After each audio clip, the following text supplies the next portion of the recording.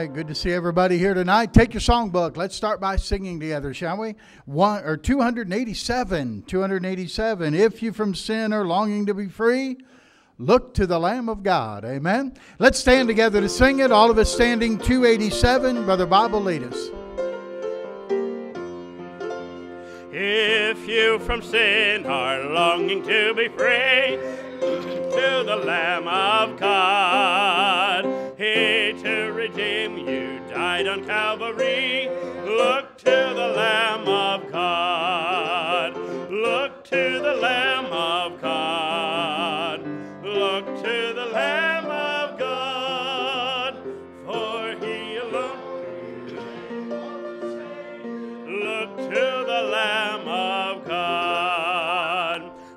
When Satan tempts and doubt and fear assail, look to the Lamb of God. You in his strength shall over all prevail. Look to the Lamb of God. Look to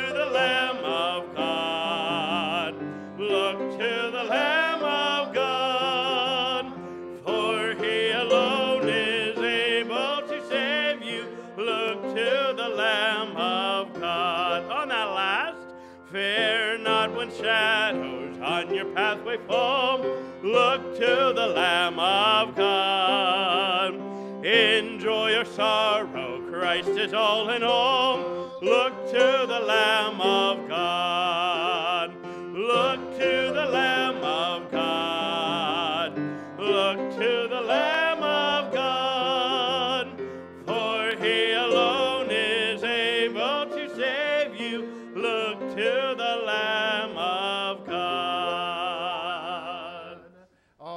Good singing and uh, good to see you in church tonight. Thanks for making the, your way here and uh, looking forward to what the Lord has for us this evening. Let's open in prayer together, shall we? Father, we bow before you in prayer. We thank you for another midweek service that you brought us to and for watching over us through this week and for bringing us to this point. And Lord, thank you for the health and strength we have to be able to be in church tonight.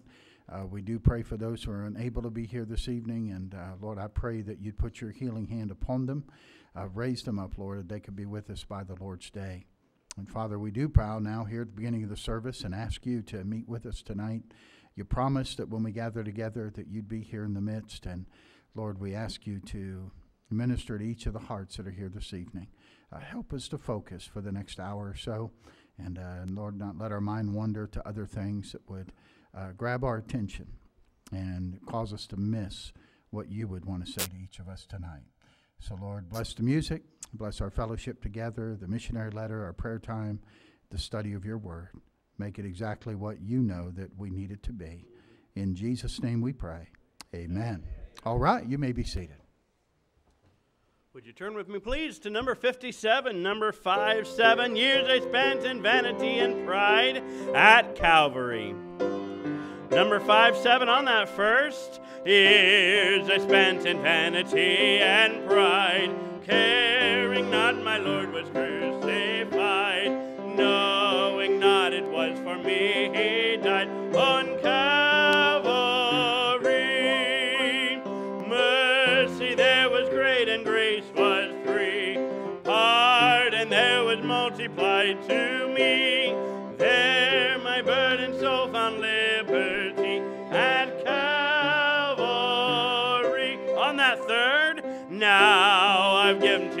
Jesus everything. Now I gladly own him as my king. Now my raptured soul can only sing of Calvary. Mercy there was great and grace was free. Pardon there was multiplied to me. There my burden soul found liberty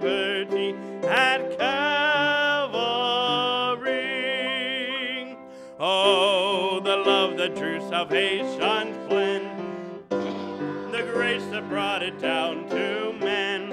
Oh, the mighty gulf that God did spend at Calvary. Mercy there was great and grace was free. Pardon there was multiplied to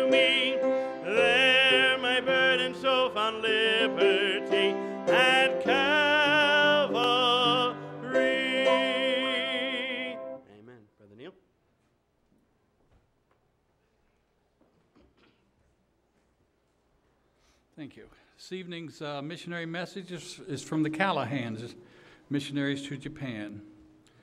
Nehemiah 2:18 Then I told them of the hand of my God which was good upon me as also the king's words that he had spoken unto me.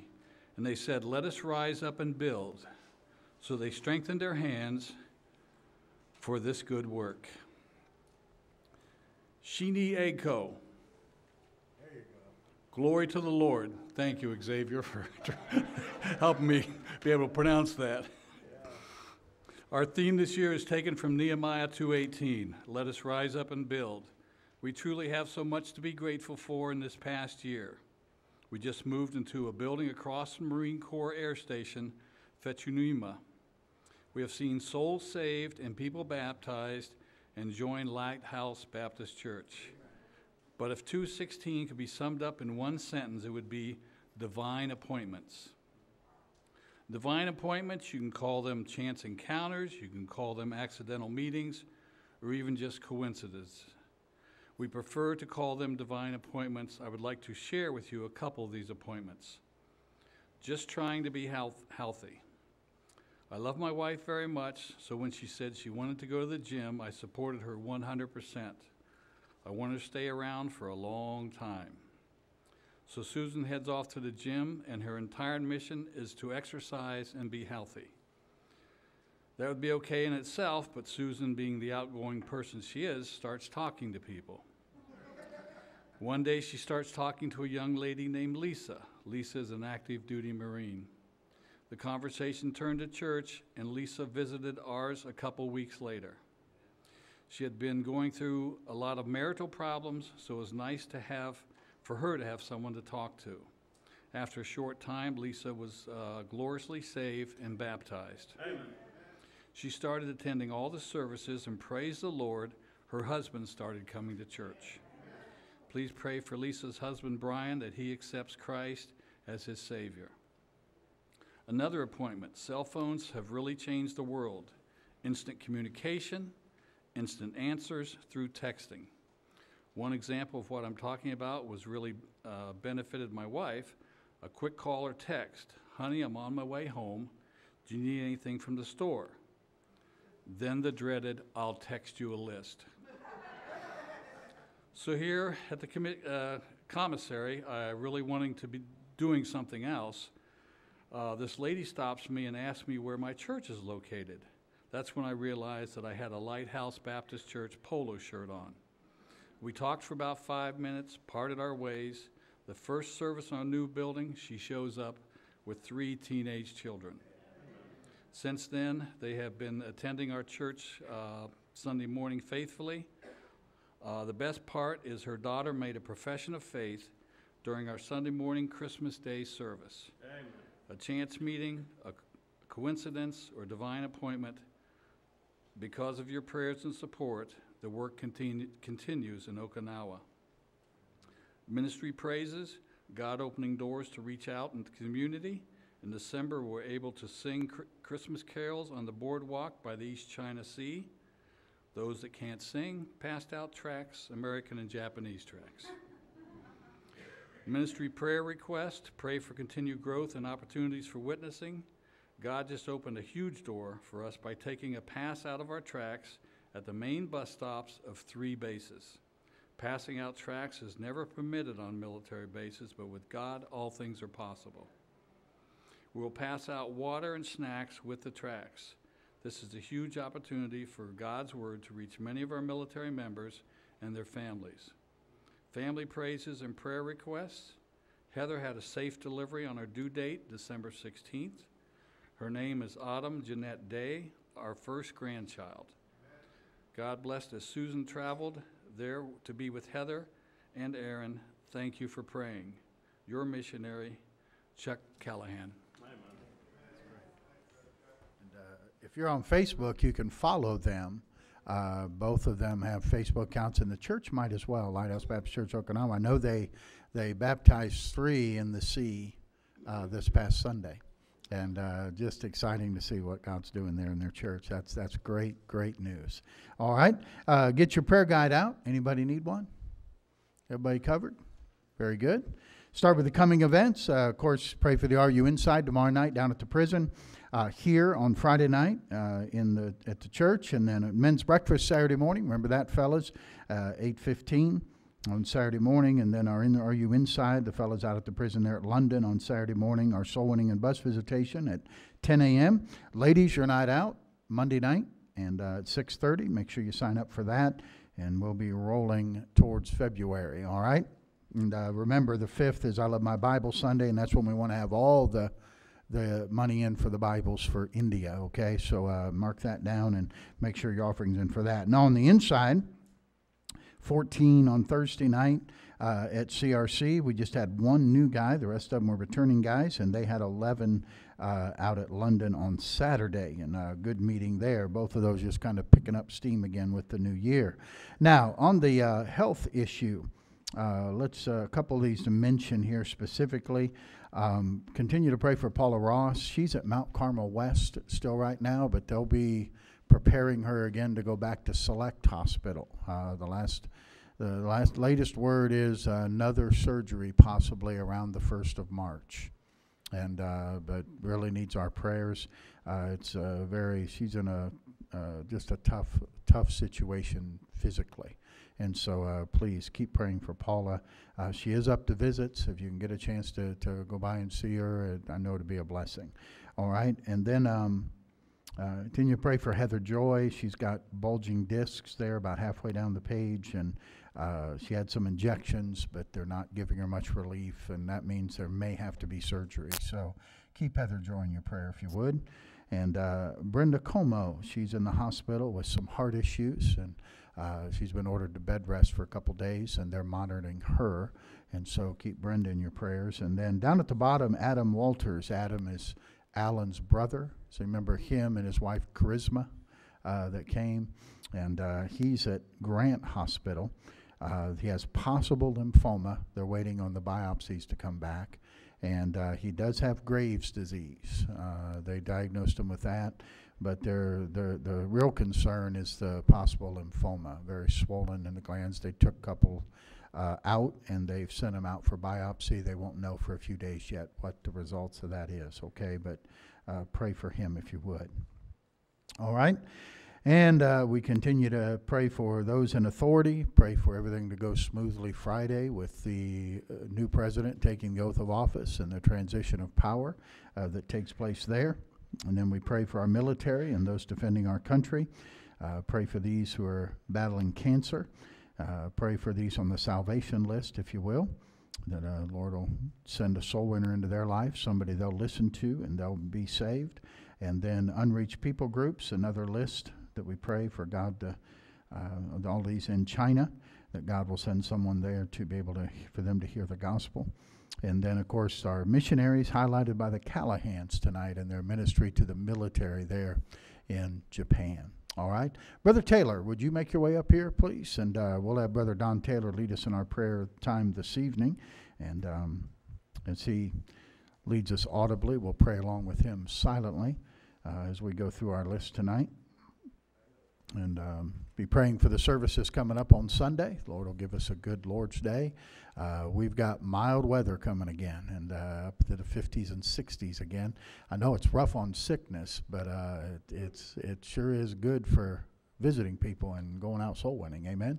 So uh, it's uh, it's uh, kind of a to me. I'll take the warm weather as long as we can get it. You know. So we'll we'll settle for that. And but let's go to prayer together, shall we? And Brother Don will lead us.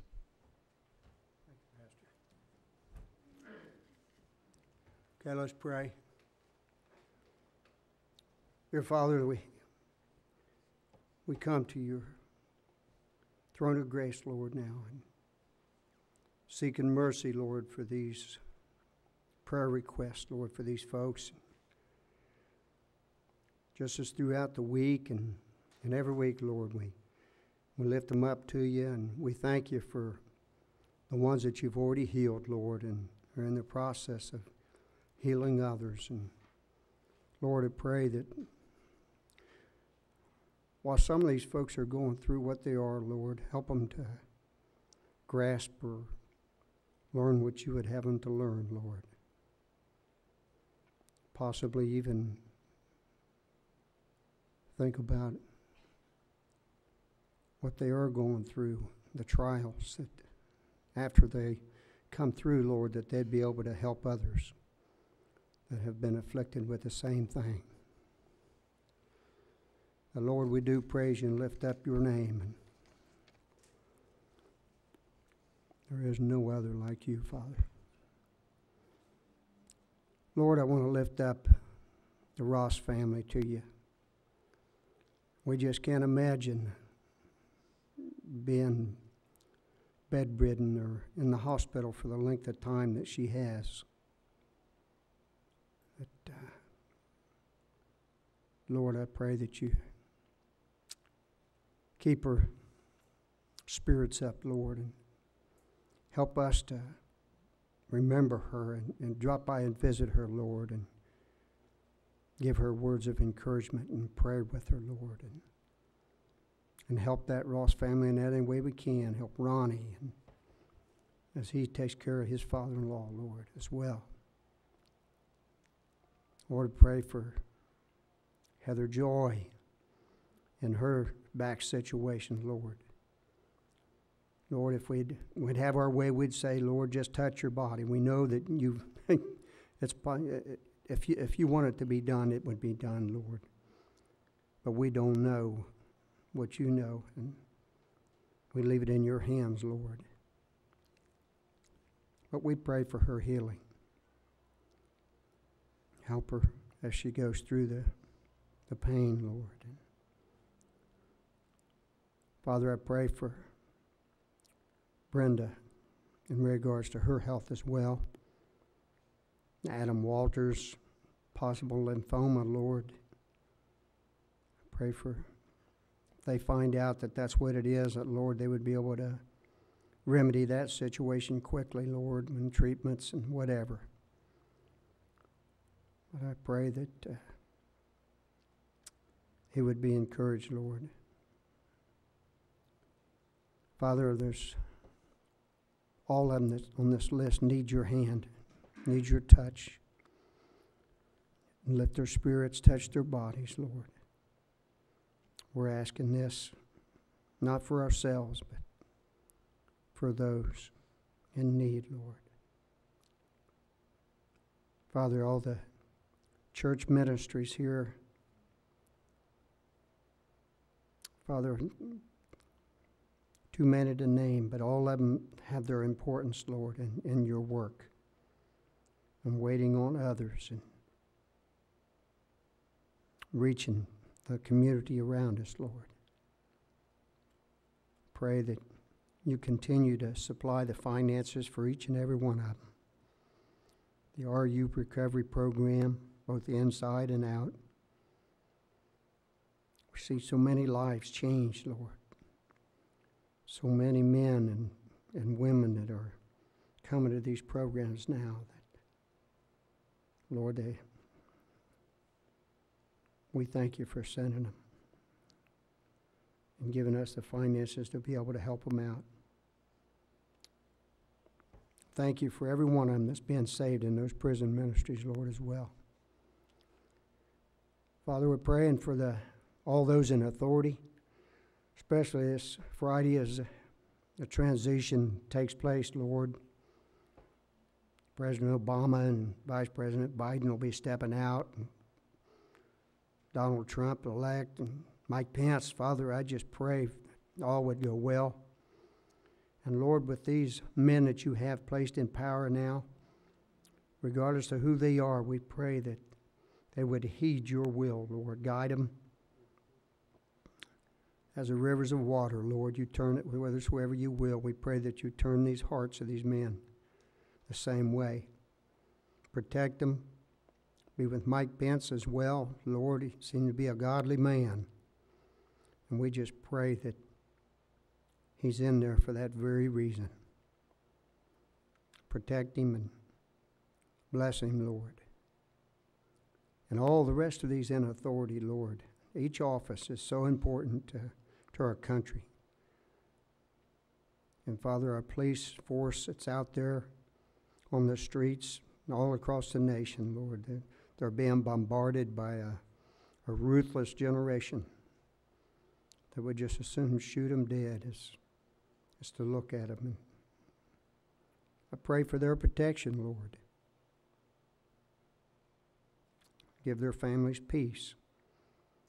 It has to be just like going to war every day for the families and, and those officers.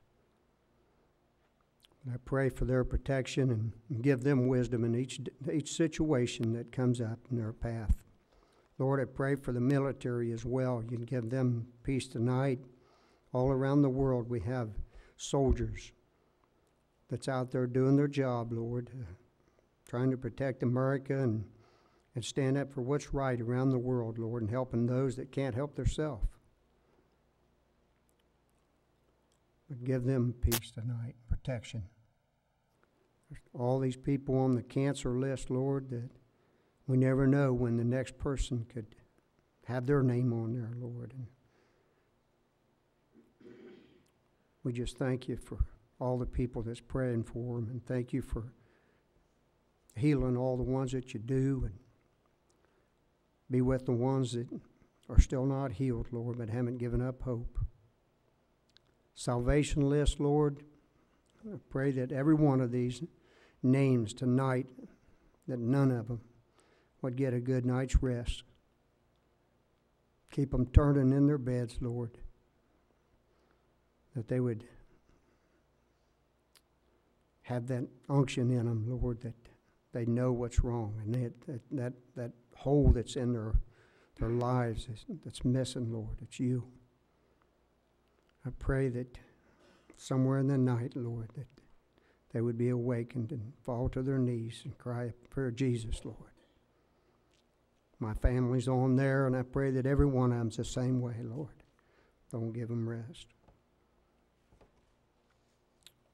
Lord, pray for the unreached people groups, many around the world. Not only these on this list, Lord, but so many that don't even have a Bible. Pray for the money to come in, that we can get the their heart language is printed, the Bible's printed in their language that they can understand the gospel. There's so many of them that would just love to have a Bible and can't get one. I pray the finances would come, Lord. Let us sacrifice and give. And these missionaries, Lord, highlighted with the Callahan family. Bless them tonight, Lord, and thank you for the good letter that they've sent and the encouraging words, Lord, of souls being saved over there. And we see how you're working and through their lives. Just bless them tonight and whatever they need, Lord, and heal their bodies and any financial needs they have, supply it, Lord. And all the rest of these missionaries, Lord, that's given up, whatever it is in their lives, to go around the world spread the gospel to the needy. But we thank you for being with us here at Bible Baptist Church and blessing this church as you have. Giving us all finances to where we can help and not hoard it to ourselves, Lord. Thank you for being with us tonight and here in the midst with us.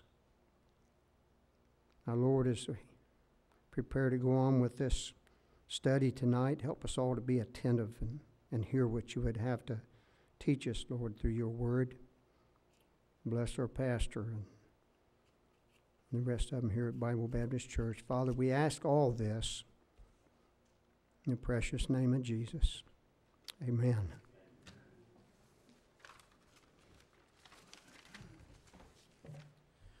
Let's go over to 201 in your hymnal. 201, more about Jesus would I know, more of his grace to others show. Would you stand with me as you find 201 on that first? Let's sing that together.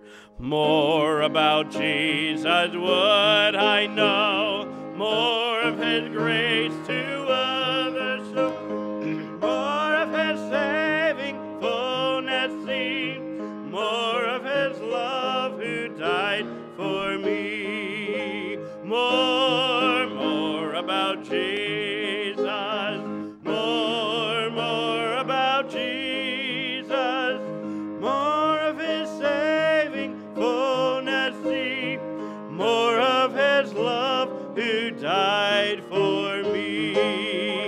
Amen. Greet one another. Make somebody feel welcome, especially our guests. We'll come back and sing those last stanzas together.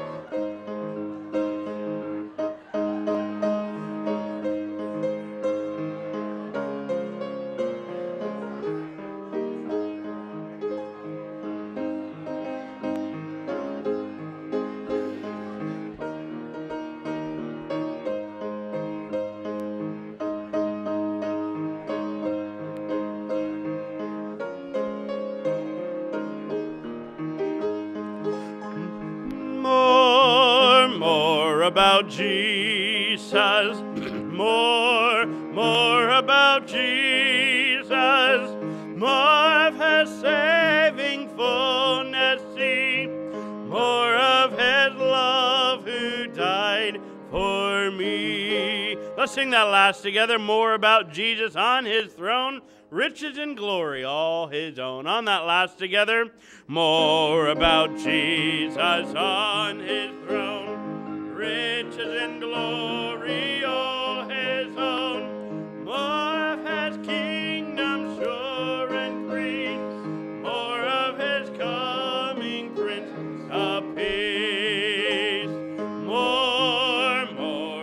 about Jesus. More, more about Jesus. More of his saving fullness sing. More of his love who died for me.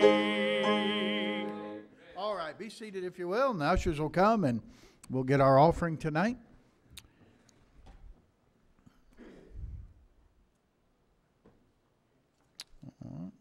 Let's pray and we'll ask God's blessing on our giving this evening. Brother Abrams, lead us in our prayer. Please.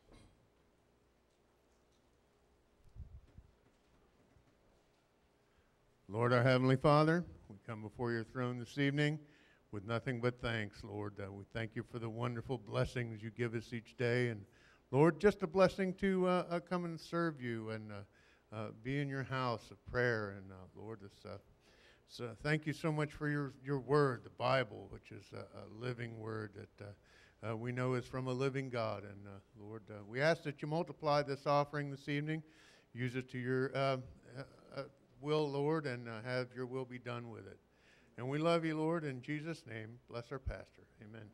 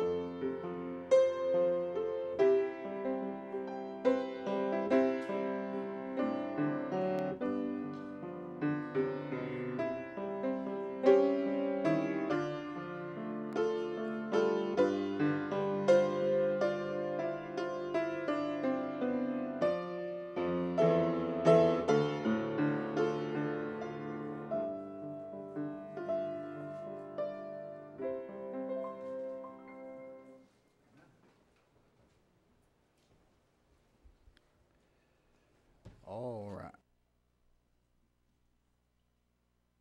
Take your Bible this evening. Go to Luke chapter 14, please. Luke chapter 14. All right.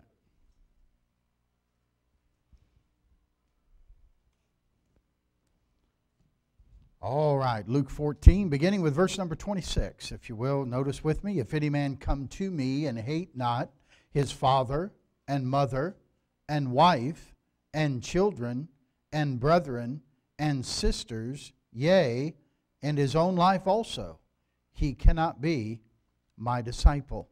And whosoever doth not bear his cross and come after me cannot be my disciple.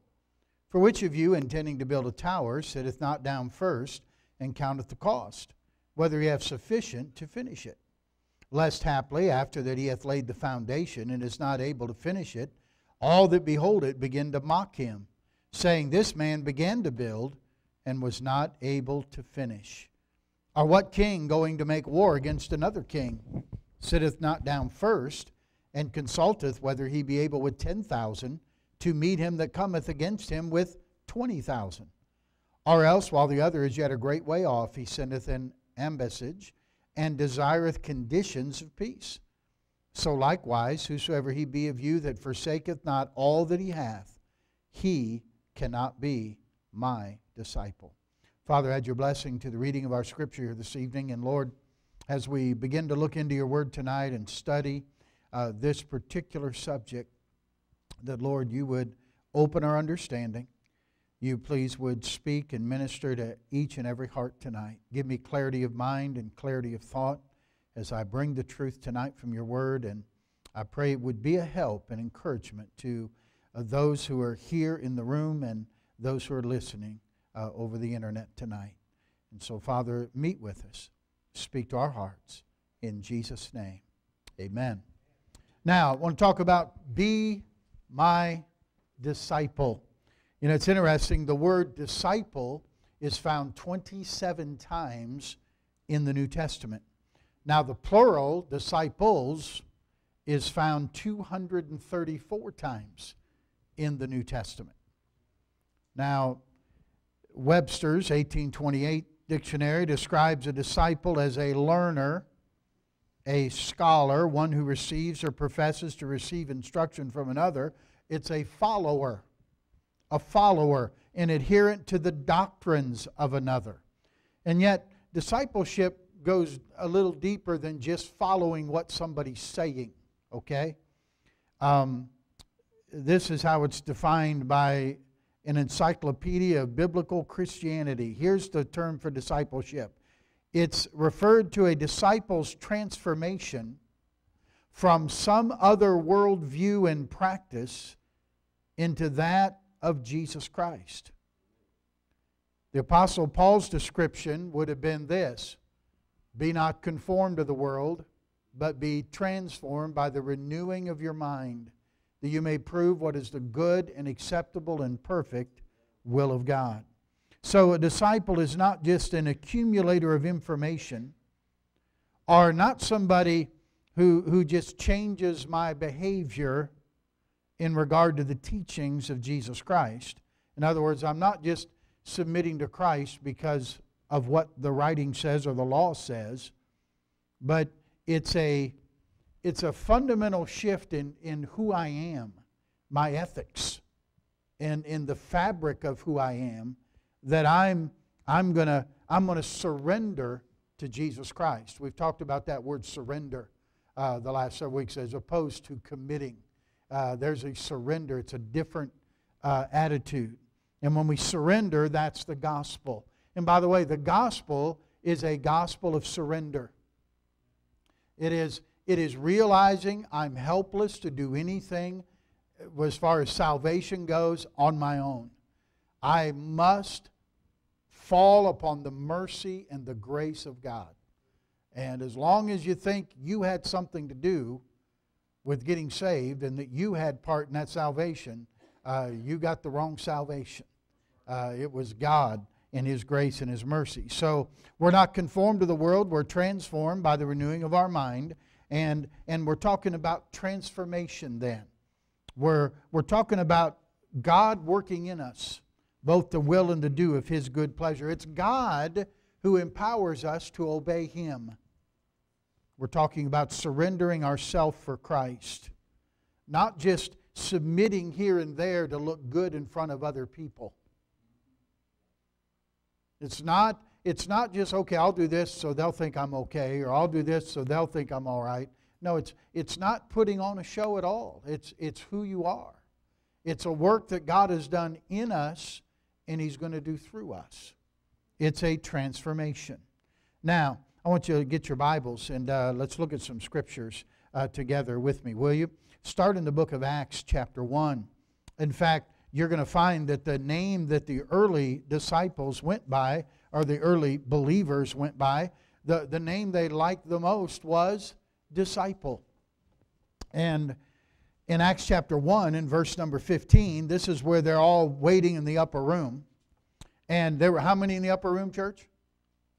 How many were in the upper room? No.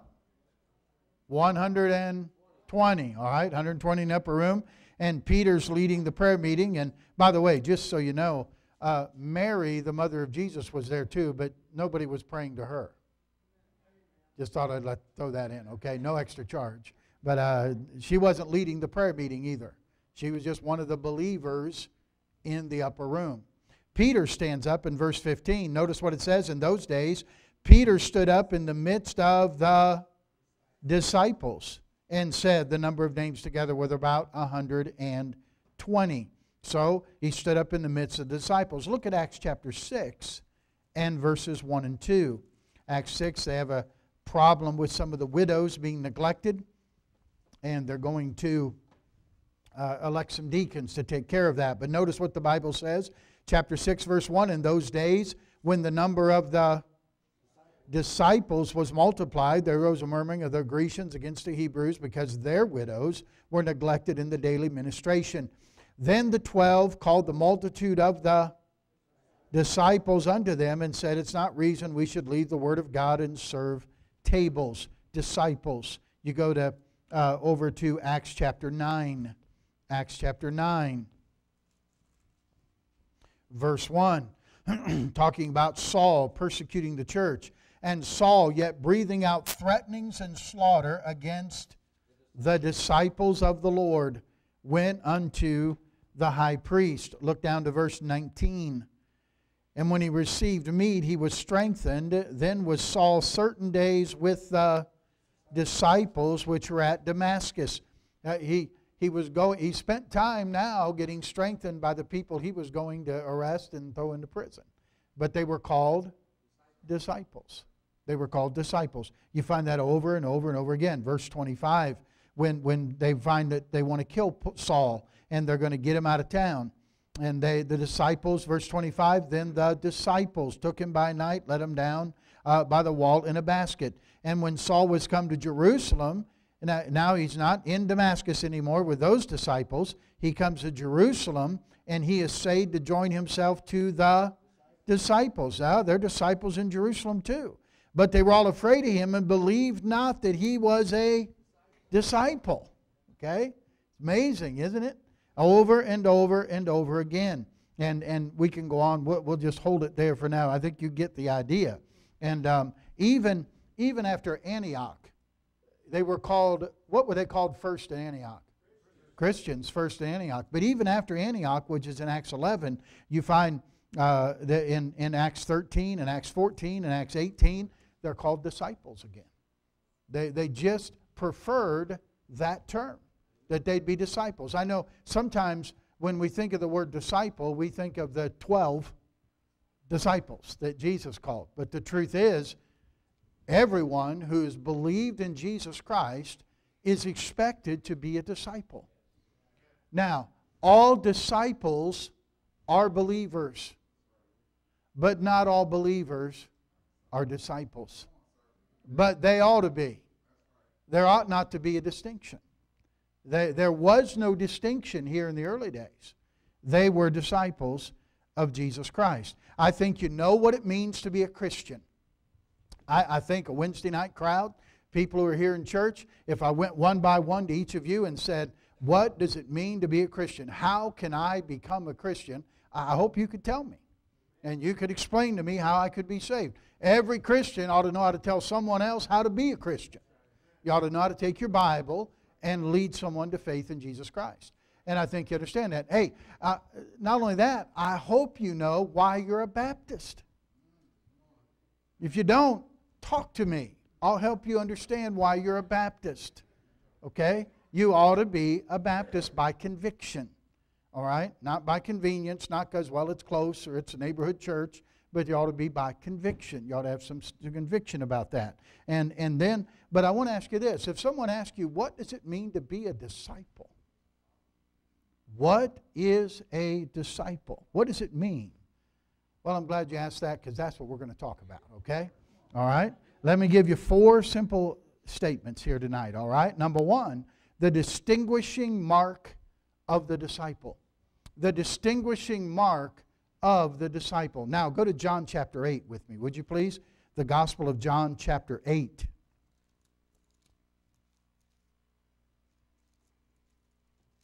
Let's see. Would that be Juan, Juan Nueve? Is that, is that John 8? Is it Nueve? Is that 8? Ocho. Ocho's 8. What's Nueve? 9? Nine. Nine. Okay. 8. Ocho. See? Ah, they're with me. Don't worry, I'm not going to go bilingual on you, but uh, distinguishing mark of the disciple. Notice John 8. Look at me with me at verse number 30.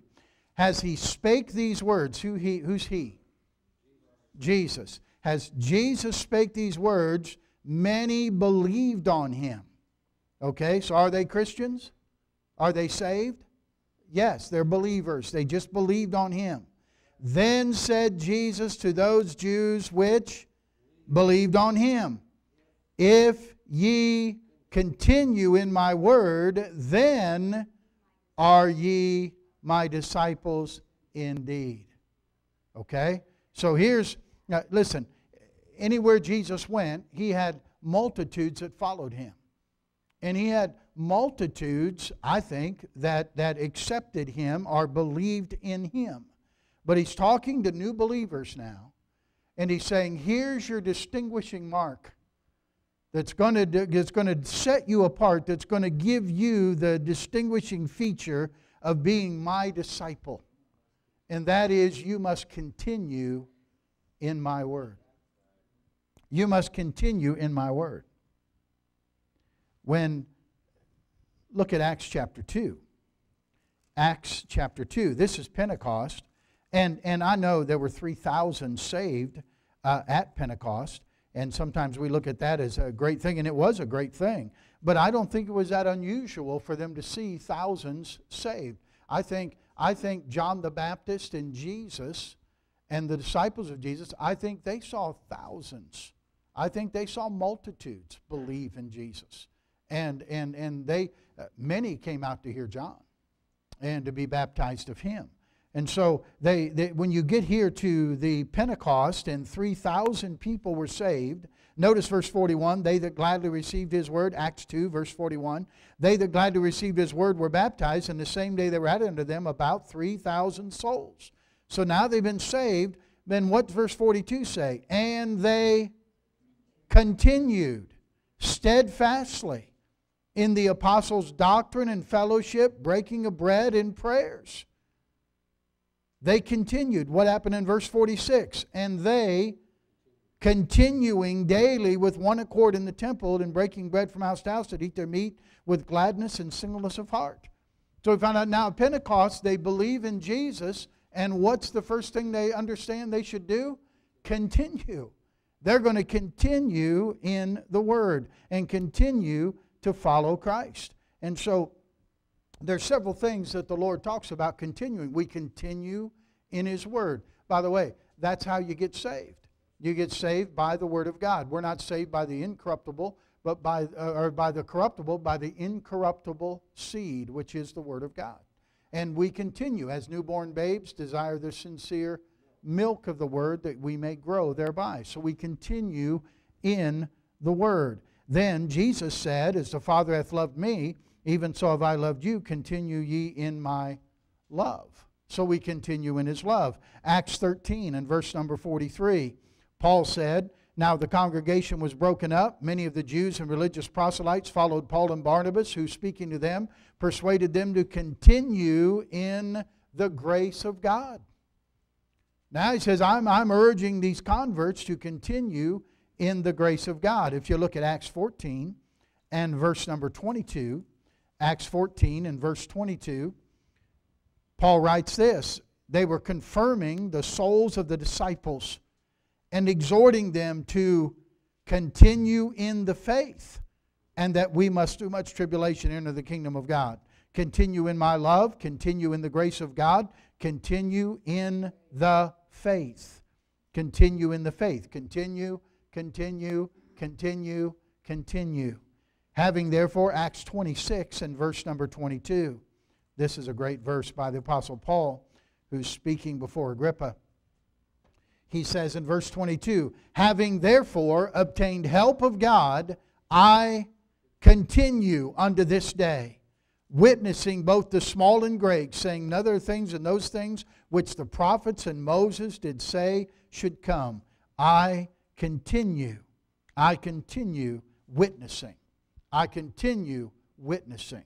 And then I want you to look at 2 Timothy chapter 3. 2 Timothy chapter 3. Paul writing to Timothy, uh, training this man for the ministry. Uh, really, I think, had ideas of Timothy stepping up to take his spot and uh, kind of uh, fill in the rank behind Paul when Paul would eventually be martyred for Christ. And in chapter 3 of 2 Timothy, Notice verse number 14. What does he tell young Timothy? But continue thou in the things which thou hast learned and hast been assured of, knowing of whom thou hast learned them, that from a child thou hast known the holy scriptures, which are able to make thee wise unto salvation through faith which is in Christ Jesus. Continue into things which you've learned and been assured of, Timothy. And so continue, continue, continue, continue, continue. That's the distinguishing mark of someone who is one of his disciples is they continue. Okay? Not not not in, not out. You say, well, what do you how many of you know somebody who started but they have not continued? Anybody know people like that? Everybody put their hand up. All right? Look at 1 John chapter 2, would you please? 1 John chapter 2. Go past 1st, 2nd Peter and get to 1st John chapter 2.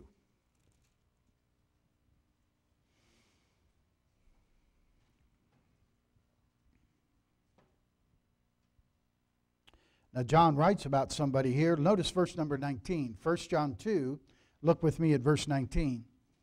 They went out from us, but they were not what? uh, okay, had some, they were, had some that were with them, but they did not continue with them. They went out from them, okay? Now, notice what he says For if they had been of us, they no doubt would have continued with us. But they didn't continue. So they went out, but they went out that they might be made manifest that they were not all of us. That's, that's a frightening verse. Are you saying, you say, Pastor, are you saying that those people who, who don't continue aren't saved? I'm not saying that. But John might be saying that. He might very well be saying that. And, and I think you just need to look at that verse for what it is and say, you know how important it is that we continue? You know how important it is you continue in the faith, that you continue in the Word, that you continue in grace, that you continue in love, that you continue in the things that you've known and you learned and you've been assured of from the Word of God, and not depart from the faith and give heed to seducing spirits and doctrines of devils. Don't do that. Continue. It's the distinguishing mark of the disciple that you continue. Okay? Number two, notice the second aspect of being his disciple is the demand of the disciple. The demand of the disciple. Now go back to Luke 14 where we read this evening. Luke chapter 14 where we read tonight. Now, let me say this. Believing Believing is, is easy. It is not hard to get saved. Know you're a sinner. Know you're, you're dying, die and go to hell. You know Jesus died and paid the price for you, and that He offers you a free gift of salvation if you'll accept what He's done for you and trust Him alone as your Savior. How hard is it to accept a gift? That's not hard.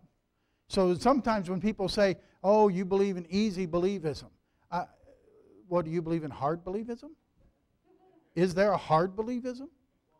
You know, no, it's not. It is not hard to be saved, and thank God He didn't make it hard to get saved, because some of us would have never got saved. But He made it easy, and that's okay. But I got news for you: discipleship is hard.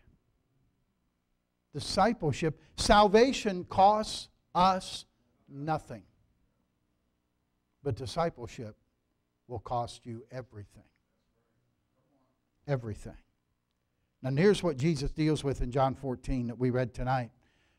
The first thing under demand of discipleship is that Jesus must be first in all relationships. That's what he meant in verse 26. If any man come to me and hate not his father, mother, wife, children, brethren, and sisters, yea, his own life also, he cannot be my disciple. So, in other words, he's not saying you have to hate everybody, but he's saying your love, your love for him has to be first and supreme. You have to love him before anyone else. You'll see that here in just a little bit when we look at another passage. And, in other words, I can't love anyone else more than I love him. No one else is my strength. He's my strength. No one else is my rock. He's my rock. I, I get burdened when I hear people talk that way. When a loved one dies, or, or husband and wife, and they talk to one, oh, she was my rock. Well, you better hope she wasn't. Because your, you know, your, your, your rock is Jesus Christ. Your hope is Jesus Christ. Your, your, your love, the love of your life, is Jesus Christ. Remember, remember Dr. John R. Rice would always talk about is his wife would look at him and say, John R., that's what she called him. Said, John R., do you love me? He said, Of course I love you. She said, Why do you love me? And he'd always take his glasses and he'd always put it down. He says, Because, because God tells me to. And she would always be discouraged. And he said, Oh, he said, listen, that's the best reason. If I just love you because you're young and pretty, you may not always be young and pretty. I just love you because of certain feature, you may get in a wreck and not have those features anymore. You see, uh, but if I love you because God says to love you, then I'll always love you. And I'll always love you, and that's a good reason. But He's first in all relationships. There's no one, when, when something happens, when difficulties come, when trials come, when everything gets overwhelmed and you feel like you're just stressed out or you're, you can't take anymore, you don't think of someone to run to, you think of Jesus to run to. Say, I've got to go to God. I've got to go to Christ. He's got to be supreme in all things. He's first in all relationships. The second demand is you must die to yourself. You must die to yourself. That's verse 27. Notice he says, Whosoever doth not bear his cross and come after me cannot be my disciple. Now I want you to notice something. The cross was some, something that people died on. But wait a minute, they didn't just die, they suffered and died. It's one of the most cruel deaths that you could have. And one of the things that's very difficult for us is I mean, most of us in the room tonight would say, you know, yeah, if you take a bullet for Jesus, you'd take a bullet for Jesus and you'll die. But that isn't what he's asking us to do here. He's asking if I'm willing to die to myself. Am I, and am I willing to suffer for his sake? Oh, whoa, whoa, wait a minute. suffer. We don't like that. We, we like the salvation where God gives us everything. And God makes it nice and easy and comfortable, and we're healthy and wealthy and wise, and all these things God's going to do for us if we just get saved. Hello? That's how we present it, and that's how the, the gospel is presented sometimes. And then when, when that doesn't work that way and we find out there's suffering involved, we're like, whoa, what was this all about? And a lot of people get disillusioned. And it's not that, listen, they say, oh, I'm disillusioned with Christianity. No, you were disillusioned with a lie of Christianity that somebody put forth to you. You weren't told the truth. And I'm telling you, God says here, Jesus says, you take up your cross. Are you willing to die to what you feel, what you want, what you think? Are you willing to die to your dreams, your hopes, your ambitions, what you want to do? Are you willing to die to what you think is right or what you think is wrong?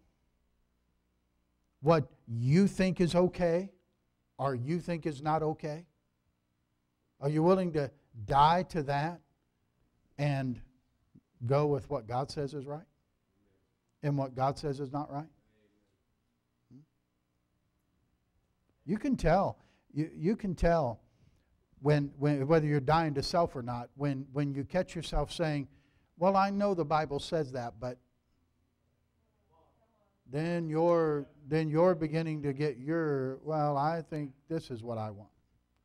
Then you haven't died to yourself. You have to die to yourself. Two choices are always on the shelf serving God or serving self. Which one do you choose? Dying to self. The third demand that he's given for the disciple is in verse 33, and that is we must be willing to forsake all for Christ.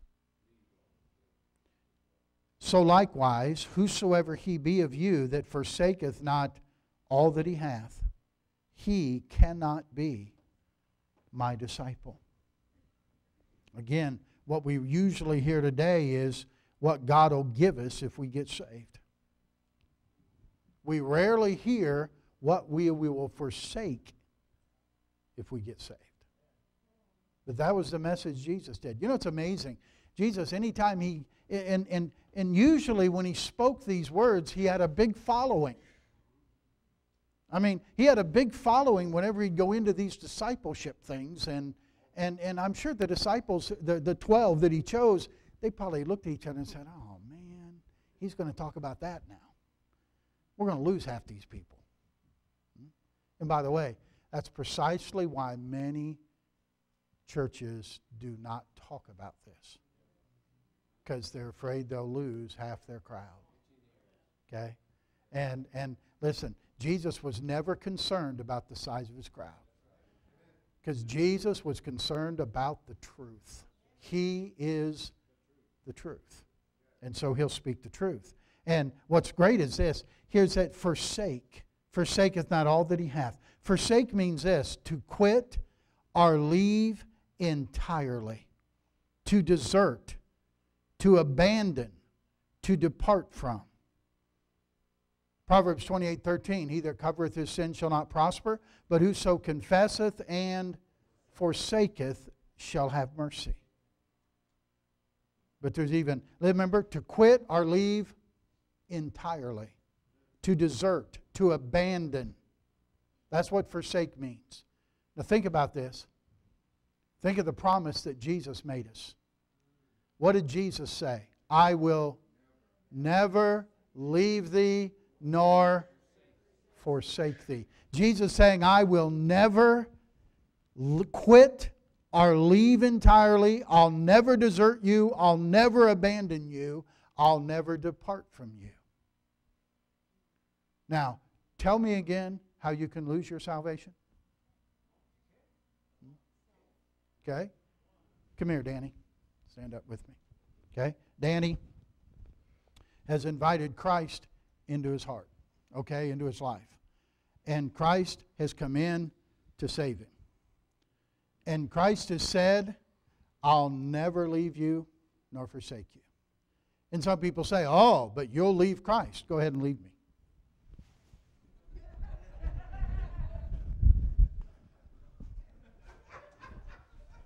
It doesn't matter where he goes, I'm going with him. Hmm? Boy, he's in the choir, and everybody leaves him in the choir, don't they? Right? Huh? He can't, he can't shake him. You know why? I will never leave you nor forsake you. I will never quit you. I'll never abandon you. I'll never desert you. You go, I'm going with you. Amen. No matter where you go, he goes with you. Amen. I will never leave you nor forsake you. Hallelujah. Isn't that good? Bless you. Amen. The demands of the disciple, the distinguishing mark of the disciple. Let's look at number three. How are we doing? We got to hustle. Number three, Here's the direction, the direction of the disciple. I want you to go back a few chapters to Luke chapter 9, would you please? Luke chapter 9. Luke 9, notice with me in verse number 23. And he said to them all, If any man will come after me, let him deny himself, take up his cross daily, and follow me. Now, let me let me tell you where where many of our churches are. We're, we're pretty effective at winning people to Christ. And we're not so effective at making disciples of people we win to Christ. Okay? And that's why uh, you, you may be around some churches and you'll see they had, you know, 500 or 600 professions of faith, and, and, and sometimes they have 1,000, uh, 2,000 professions of faith, and they had maybe uh, 200 or 300 baptized out of 1,000 people saved. And when you, but when you look at their attendance for the year, though they had 300 baptized, the church hasn't grown at all in a year. where are those 300 people? What's happened. You know, and, and so then, now listen, what sometimes they do is we swing the pendulum all the way the other way and we say, oh, we're just going to focus on discipleship. But then you're not getting anybody saved to disciple. So you can't swing it all the way the other way and, and, and stop witnessing and stop giving the gospel, stop trying to get people saved in order to try to disciple people. And, and here's, here's the problem that we have, and here's the, the, the difficulty, I think, with our modern day discipleship idea. When you get somebody saved, what you try to do is you try to get with this new Christian. And you say, I want to meet with you this time. Let's find a time and you meet with them and maybe you spend an hour and you try to disciple them. You maybe maybe have some set lessons, maybe have some set things you go through and teach them some of the basics of the Christian life, and you're trying to set a time to get with them.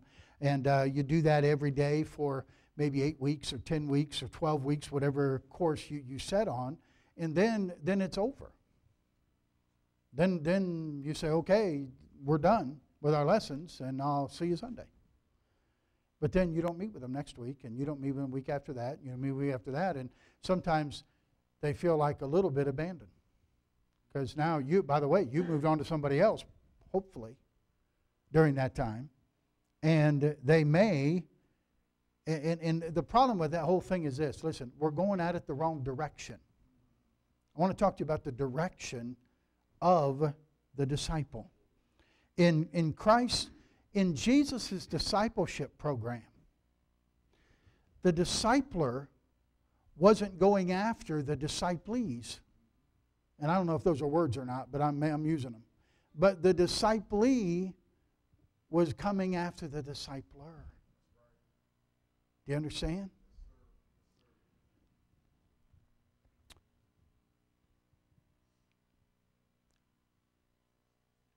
Jesus' follow up program was a follow me program.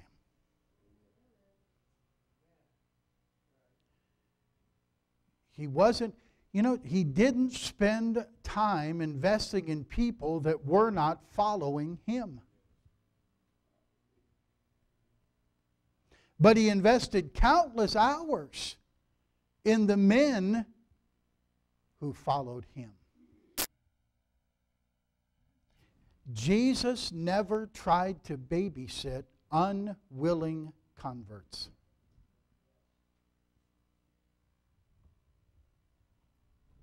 Like we so often do. In Matthew 28 18 through 20, go ye therefore and teach all nations. That's make, literally make disciples of all nations, baptizing them in the name of the Father and the Son and the Holy Ghost. And then what? Teaching them to observe all things which I've, not just teaching them all things which I've commanded you, no, teaching them to observe all things which I've commanded you. What does that put it on? It means that's not passive, that's active. And if they're unwilling to observe all things that you're showing them and teaching them, then you don't continue to try to teach them. They're not willing to learn. If they're not willing to learn, why are you trying to teach them? Let me, let me show you Luke 9, a little further towards the end of the chapter. Verse 57.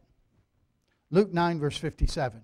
It came to pass that as he went in the way, a certain man said unto him, Lord, I will follow thee whithersoever thou goest. And Jesus said unto him, Foxes have holes, birds of the air have nests but the Son of Man hath not where to lay his head.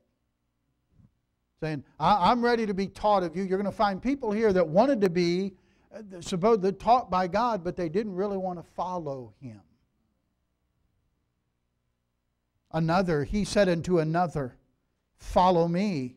But he said, Lord, suffer me first to go and bury my father. And Jesus said to him, Let the dead bury their dead, but go thou and preach the kingdom of God. Now, that may seem a little harsh at first, saying, Man, Jesus, you're not very compassionate. Let the guy bury his dad. No, I don't believe this man's dad was dead. What was the, anybody know the Jewish custom when somebody died? You had to have him buried by sundown. Not like, not like us. You know, somebody dies tonight on Wednesday, you may not have a funeral till Monday depending on circumstances. Sometimes, well, we got people traveling from out of town for the service, so we have to wait a few days and give them time to get here, and so we just wait. They didn't do that. That was against Jewish law. You have to have them in the grave done by sundown. So this isn't something like first thing tomorrow, right after I bury dad. No, no, no, no. Dad one. In other words, he's saying, I don't want to leave my family while they're living, I'll wait till my dad's dead, then I'll follow you. Hmm? He, remember, where, we, where did we start? He that hateth not father, mother. In other words, you love somebody more than you love me, you cannot be my disciple. Wanted to be taught, but he didn't want to follow. And if you don't follow, Jesus didn't teach them. Another said, Lord, I will follow thee, but let me first go bid them farewell, which are at home in my house. Same idea, isn't it? I want to put others ahead of me. And by the way, it's interesting the wording of it, isn't it? The, the one guy says, Suffer me first. I circle those words in my Bible. Verse 61 I'll follow thee, but let me first. Can I say this? As long as it's me first, you'll never be his disciple. It'll never work. The direction is, by, by the way, Paul carried this out. Look at, uh, look at 1 Corinthians chapter 4. We got to move quickly. I think I'm supposed to be done here soon. So you, you listen quickly. Let's move quickly. Let me hear those pages rustling and we're ready to go, okay? Notice what Paul said in 1 Corinthians 4 and verse 16. He said, Wherefore I beseech you, be ye followers of me. Paul says, Follow me. Over in chapter 11, 1 Corinthians 11, verse 1, what did he tell the Corinthians here? Be ye followers of me, even as I am of Christ. Paul said, Hey, did Paul want to teach them? Did Paul want to help them? Did Paul want to disciple these baby Christians in Corinth? Yes. But before I can disciple you, you've got to follow. I'll disciple you if you're a follower, but you have to follow. In Philippians 3, Philippians 3 16 and 17. Notice what Paul said. Nevertheless, whereunto we have already attained, let us walk by the same rule, let us mind the same thing. Brethren, be followers together of me and mark them which walk, so you have us for an ensample. Follow. Follow. Hey, what did Paul teach Timothy? Jot this down 2 Timothy 2 2. He said, he said, well, let's take a minute look there. Let's just, we're, we're, we're, we're here. You, you're, we might as well get it done. Amen. 2 Timothy 2 2. Notice what he said. You're familiar with it. He says, Timothy, the things that thou hast heard of me among many witnesses, the same commit thou to who? Faithful men who shall be able to teach others also.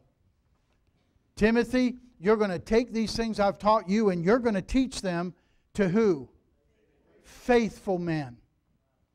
If they aren't willing to be faithful, they don't learn what I've taught you. You don't, don't spend your time teaching them. They have to be faithful. They have to follow. See, the, the disciplee follows after the discipler and has a desire to learn and has a desire to want to be a disciple. And then, you'll do, then you're discipling those who in turn will want to disciple others and have a heart to teach others. That's the direction of the disciple. And then let's give number four the demonstration of the disciple. The demonstration of the disciple is Matthew 4 and verse 19. Jesus said, Follow me, and I will make you to be fishers of men.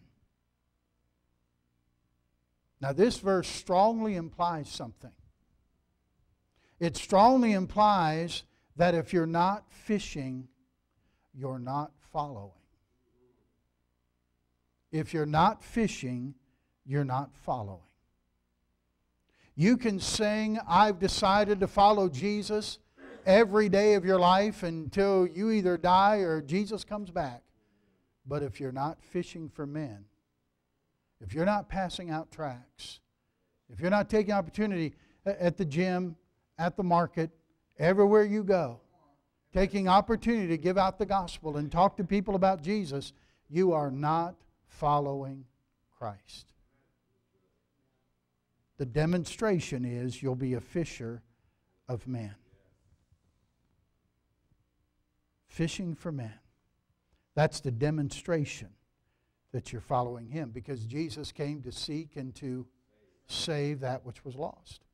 If I'm following him, I'll seek and save that which was lost. I want to do what he did. I want to do the same. Now, look at John chapter 9 will you please? In John chapter 9 is a great story about a blind man who Jesus healed. And this is the last thing we're looking at, and we'll be done. John chapter 9. And it's an amazing thing. They're, they, they, the Pharisees are upset. They, they get upset because he heals the guy on, on the Sabbath day and he doesn't keep the Sabbath. And the, the blind man doesn't know exactly who it was until he sees Jesus later and, and he knows. That they, they call his parents in and say, okay, you tell us. They say, oh, no, we're not, we're not getting into this, you know, because we don't want to get thrown out of the synagogue. And so you just ask him. He's old enough. Let, let, him, let him handle this. And so they're questioning him again. Notice verse 23. His parents said, he is of age, ask him. So what happened in verse 24? They again called the man that was blind and said unto him, Give God the praise. We know that this man is a sinner. He answered and said, Well, whether he be a sinner or no, I know not. But one thing I know, whereas I was blind, now I see. Oh, I like that. And notice what he said. Then they said to him again, What did he to thee? How opened he thine eyes? And he answered and said, I've told you already, and you didn't hear. Wherefore would ye hear it again? Will ye also be his disciple? Will you be his disciples? That's a good question, isn't it? I don't want you to, don't look at it as him asking the Pharisee. Have him ask you that question tonight. Will you be his disciple? Let's stand together for prayer, shall we, Father? Take the truth this evening. Thank you, Lord, for the plainness of your word. Thank you, Lord, for the wonderful, really the wonderful privilege to be your disciple. Lord, help us to understand it's just following you. And I pray that each of us who believe in you call ourselves Christians, that we would be disciples of Jesus Christ. Heads are bowed, eyes are closed. I'm going to finish praying in just a moment. Will ye also be his disciple? Somebody says, Oh, I'm saved. That's all that matters. Oh, no, no. Will ye also be his disciple? Wonder how many folks here tonight would just say, Pastor, I desire to be his disciple. Here's my hand. Pray for me tonight. Amen. Amen. Amen.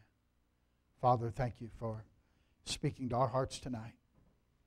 As we raise our hands this evening, you know our heart. And Lord, I pray that you would work in us and through us, that we would have the passion, the, both the will and the do of your good pleasure, that we would want to follow you. Lord, I pray that we would be your disciples. And all men would know that we're your disciples for the love we have for one another. Lord, dismiss us now with your care. Thank you for a good service together here this evening. We love you. I pray that we'll serve you with our lives this week. Make us mindful you're with us at all times. Thank you that you never leave us nor forsake us. We love you, Lord. In Jesus' name we pray. Amen. Amen. Hey, the windows of heaven are open. The blessings are falling tonight. 128, if you still need it uh, in your book. Let's sing it together, all right? The windows of heaven are open. The blessings are falling tonight. There's joy, joy, joy in my heart since Jesus made everything right. I gave him my old tattered garments. He gave me a robe of pure white. I'm feasting on manna from heaven. And that's why you're happy. That's why I'm happy.